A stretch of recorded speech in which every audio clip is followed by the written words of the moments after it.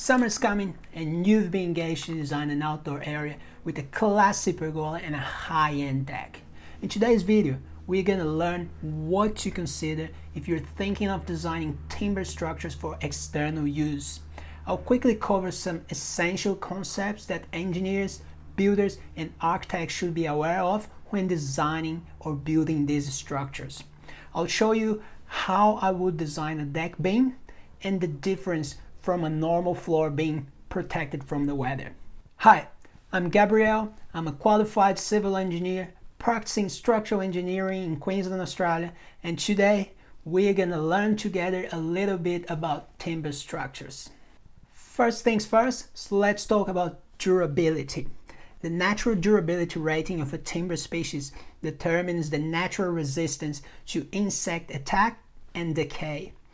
So my question is, Will the timber perform well over a specified period of time? You are now looking at AS 1684.2, the Timber Framing Code, Appendix B.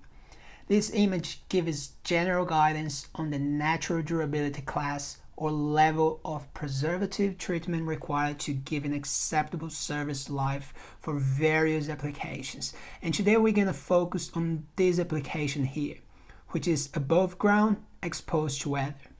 In simple words, any element on this region needs to be above ground durability class 1 timber or above ground durability class 2, 3, 4 timber with preservative treated H3 class 1 highly durable. Class 2 durable. Class 3 moderately durable. And class 4 non-durable. From class 2 to 4 the timber needs to be H3 treated. H gives the standard levels of hazard. Scroll down to table B1 the term H3 indicates the level to which the timber has been treated so H3 is suitable for use outdoors above ground. If your timber has been treated to H3, it should be marked on the timber or certified by some documentation from the supplier. Okay, so now that you know what type of timber we're working with, let's have a look at the design. Opening up Hyne Design, if you don't know the software, I'll put the website on the description. You can download it for free. However, if you're not an engineer, the software limits your access to some tools. On the initial screen, it's the project data with wind loads, snow loads in case you in case it snows where you live, and dead loads. On my complex design tab, remember if you're not an engineer, the simple design tab will be activated for you. I'm gonna choose bearers and beams, bearer trimmer, and this little window pops up asking for span length and whether the beam will be exposed or not to weather. So my span will be 3 meters and since it's a deck beam it will be exposed to sun and rain. It displays the length of the deck beam from support to support I'll choose a type of floor for dead loads. Live load will be 2 kPa for balcony. My floor load width is, let's say, 2 meters. For those who don't know, floor load width is the contributor width of floor that imparts load to the beam. I'll show you an example. If you go back, if you go back to AS 1684, in this image page 25 the bearer B will take half of x plus half of y. So floor load width is x plus y divided by 2 the floor dynamics will perform a dynamic check to AS 1720 I'm gonna clear settings and choose the type of timber I want I'm going to choose a LGL, which is a lumber glue laminated, which is an alternative for LVL, laminated veneer lumber. I'm also picking a kiln dried hardwood F27. I'll click design And before we go over the results, you can see that my LGL requires a H3 treatment. Nonetheless, my hardwood doesn't.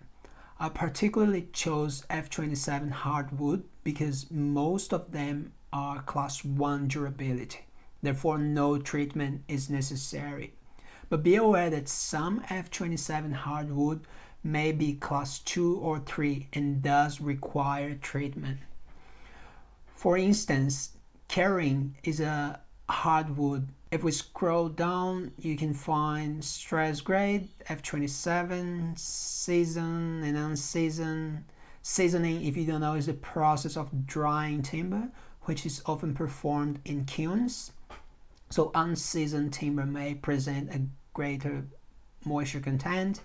Um, and if we look up Keruing on AS5604, it is class 3, therefore needs H3 treatment.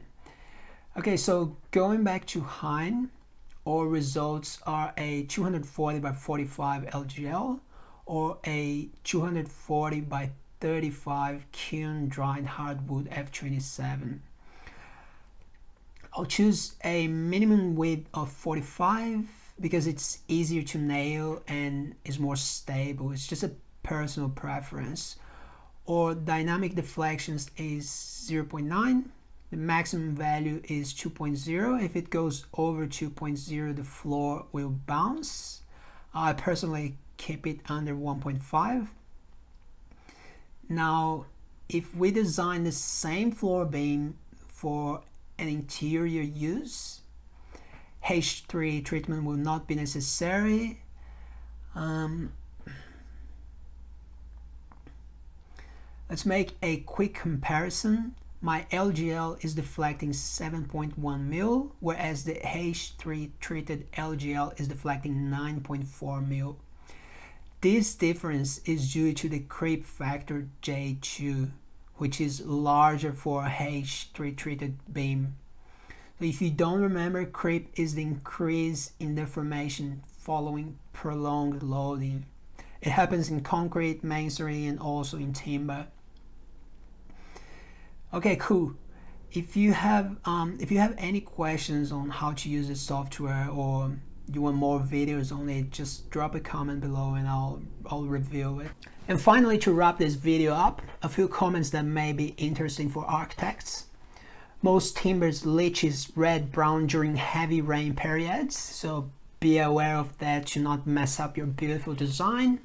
And also, architects need to plan for the best orientation.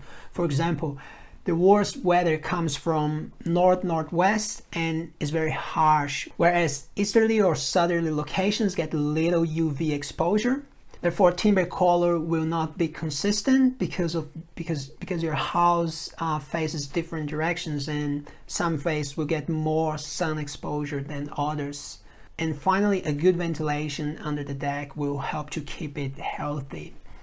Um, so hopefully this video gave you a pretty good idea of how you should go about when working with timber for outdoors areas and thanks for joining me again and I'll see you next time.